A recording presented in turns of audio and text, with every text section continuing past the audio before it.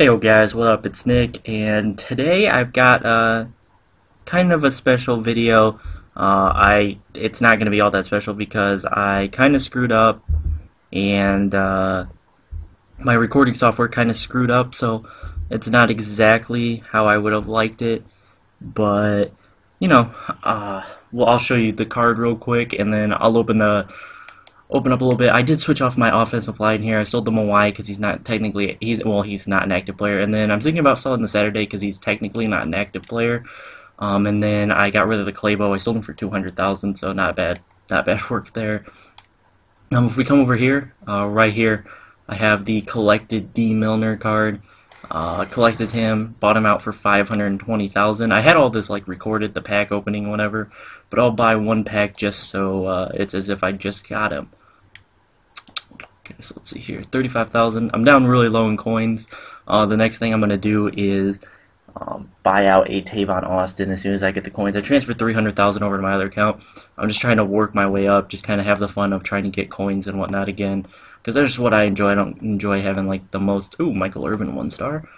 Uh, but I don't like having completely all the best, uh, or all the all the coins to the point where I can't really do anything.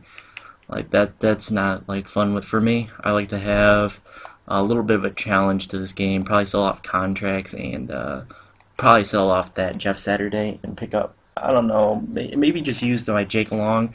Like here, I'll go show you guys what I'm talking about. Maybe throw my Jake Long over here. Uh, where is he a higher than a 95? He's a 96 there. I'll probably just play him there. My team's still at 99. My left tackle is a little weak, so I might do this. I might switch it up and go this way. And then, oh, Snee's not a 99. Who is a 99? Nobody. So I gotta play it how I am to have the 99s. Okay. So I'll be running the ball to the right a lot.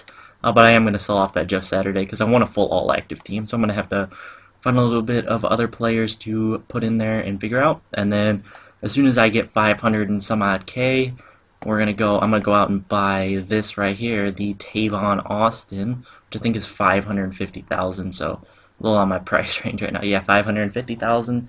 But I definitely am gonna pick him up. Uh, definitely can solve one of my wide receivers too because um, I'm gonna use him instead of one of them. So I'll figure that out. As soon as I get that done, I'll bring you a video of it. I hope you guys enjoyed the video. I'll show you the Dee Milliner one more time and kind of a cool thing about my team, my corners now. My corners are all Jets players. Revis technically isn't, but see, New York Jets, New York Jets, and New York Jets. So I love my corners. I love the Jets corners. Uh, pretty much the only thing I like about the Jets, but oh my gosh, I love my team now. Uh, my team is pretty much set where I want it to be.